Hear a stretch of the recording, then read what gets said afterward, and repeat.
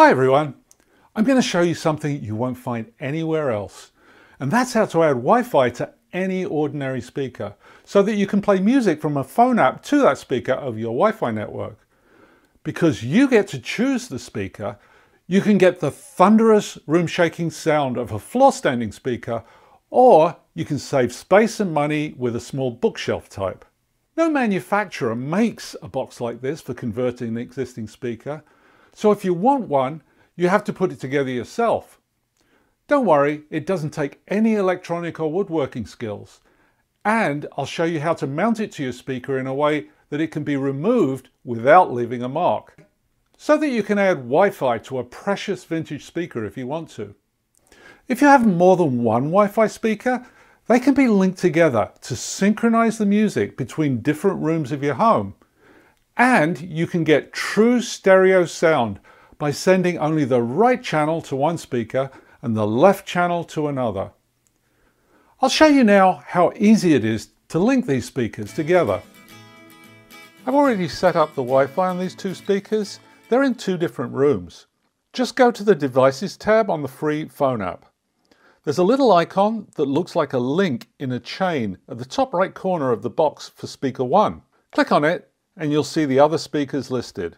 Click on speaker 2. I selected these speaker names during the setup, but you can use any names that you want. You'll see the two speakers linked together in the app. The speakers will stay linked until you unlink them, and you can add more speakers so you can play in as many rooms as you have speakers. The master volume control is the top one, but we can adjust them independently if we want to. To select your favorite music source, just go to the Browse tab. Now, the music you play here will also be playing here.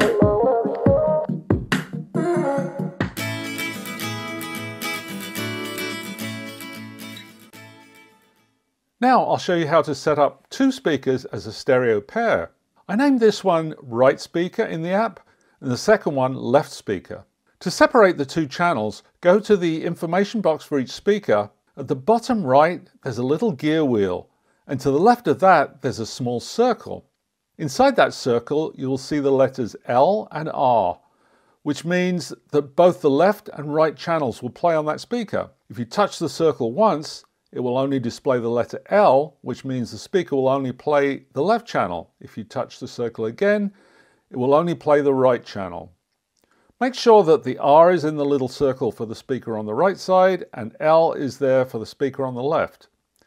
Then we go back to the linking icon and link the speakers together as before. Now we can play in stereo with no wires between the speakers. So how do you build and set up the Wi-Fi receiver box? I'll show you that now. It's not the only way to do it, but it is a way for you to build your own Wi-Fi speaker without having any special skills or tools.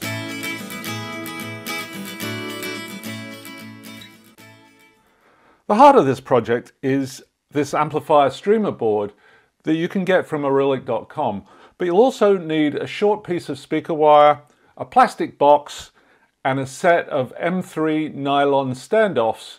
I'll link in the description to where you can get all of this stuff. These are all the tools you need. They're all simple, inexpensive hand tools. You may not have a step drill like this one, or a pin vise like this one. I'll leave a link to where you can get them. Before we start, we need to check that the stereo mono jumpers, and there's four of them here, are in the mono position. Even if we intend to use the speaker as one of a stereo pair, they still need to be in the mono position. So this is showing the correct position. If you see them looking like this, then you have to move them over. The first thing I'm going to do is I'm going to cut the lid off this box.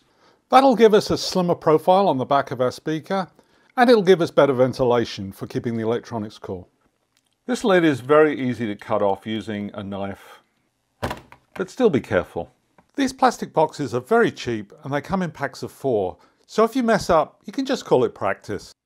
Next, I'm going to use the lid of the box and I'm going to cut it so it's just a little bit larger than the board itself.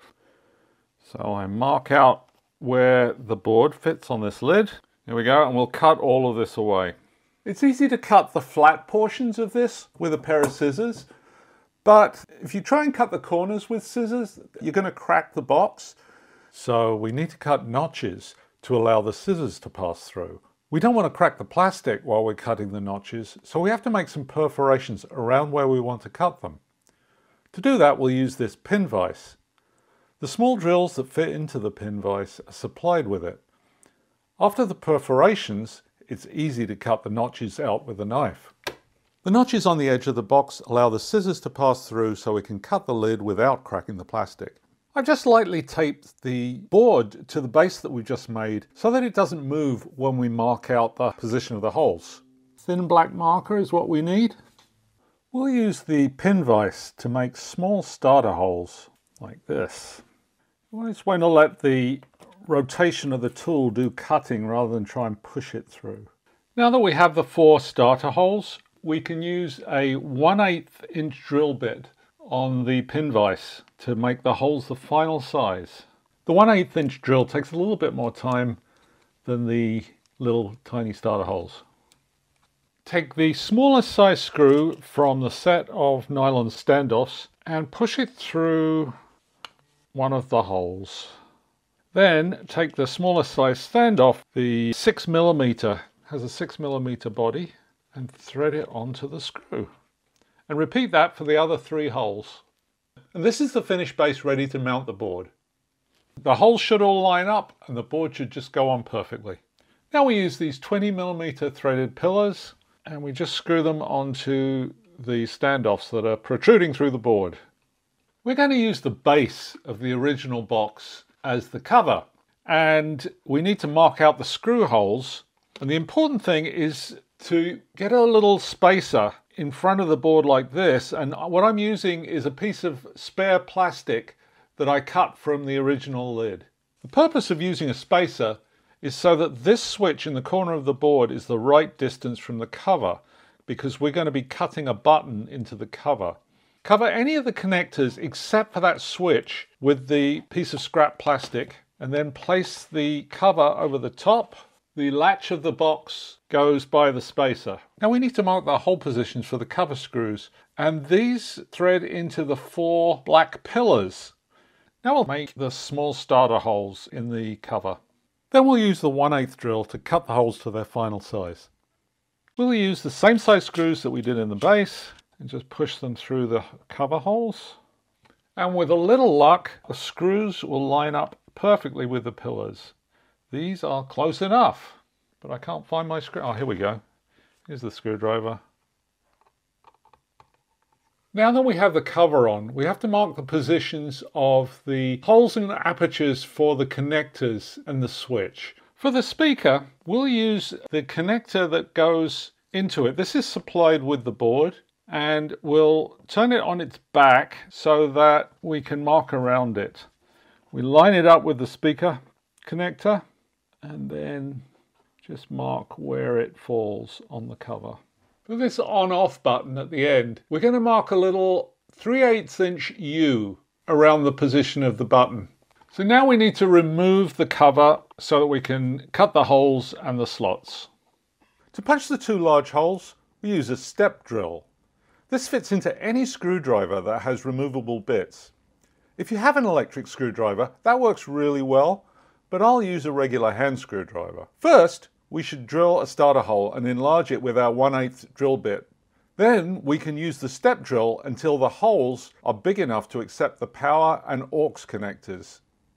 To cut along the lines we drew, we must first make perforations with the pin vise and then cut them with a sharp utility knife, just like the notches we cut when we made the base. And we just want to do this quite gently with a rocking motion. If we use too much force, we will crack the plastic. I did it. I cracked the plastic. After it's been cut and trimmed, it should look like this. Now, if it ends up looking like this with this piece removed because the plastic cracked, that's perfectly okay. With the cover back on, we can see that everything's lined up okay and we get a nice click with the on-off switch. These things here are the antennas for the Bluetooth and Wi-Fi. What we have to do is just remove the backing paper and stick them in this area here. The placement isn't critical as long as they don't overlap. And this is the Wi-Fi box ready to be mounted to the speaker.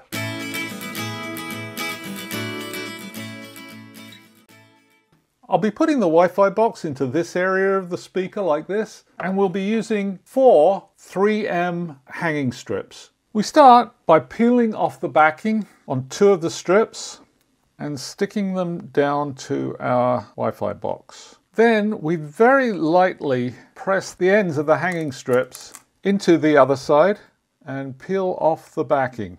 Next, we carefully position the Wi-Fi box on the speaker and push down firmly. Now we remove it quickly and these hanging strips should be in the right position on the speaker and we press them down firmly and leave them for an hour. Now you can place the Wi-Fi box on the speaker, pushing it down firmly so that the hanging strips click together. Now if it doesn't click properly, you may have to remove the cover and the board and push the strips down so that they click. There, now it's firmly attached on both strips all the way across and I can replace the board and screw the cover on. To make the connection to the speaker terminals, we're going to need to strip the insulation off the end of the little piece of speaker wire. This is 18 gauge wire, it's fine to use 16 gauge or 20 gauge. First we have to separate the two sides. Now I'll use a pair of scissors to strip the insulation. I'm going to cut off about half an inch we just nick the insulation and then pull and I have stripped the end. It's ready to go into the terminal. This is the plug for the speaker wire. This end plugs into the board and the wires come out of this side. You want to line it up so that the side with the screws is facing me. With it lined up that way, the red wire goes into the screw terminal on the right, far right, and the black wire goes into the screw terminal on the far left. We can bend over the ends of the wire so we've got a double thickness. It'll grip better. There we go, it's nice and tight. Connect the speaker wire, we just connect the black side to the black and the red side to the red.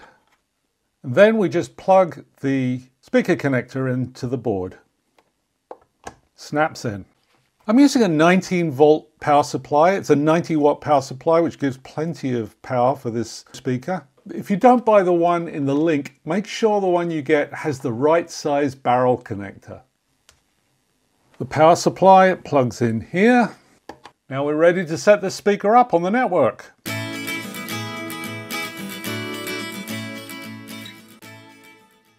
To set up this speaker, we need to download and open the free Arylic 4Stream app that we can find on the Google Play Store or the Apple App Store. The 4Stream app won't find your device on Wi-Fi at first because it still needs setting up. So when the Add New Devices button appears, select it. You'll get this screen which asks you to check for a flashing light.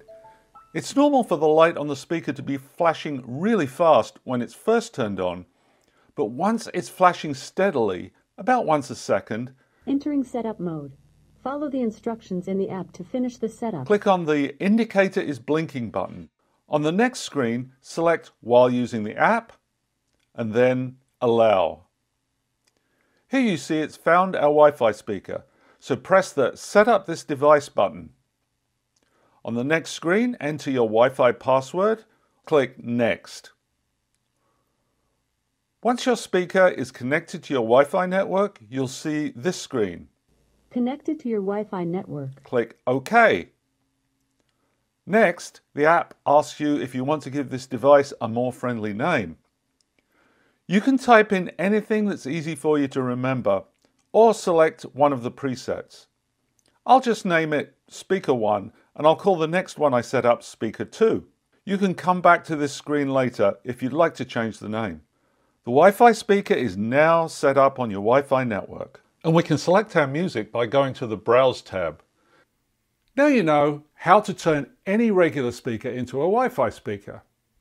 If you like this video, give me a thumbs up and subscribe. If you buy anything from the product links in the description, it doesn't cost you any more, but it does help to support the channel and is very much appreciated. Thanks for watching everyone.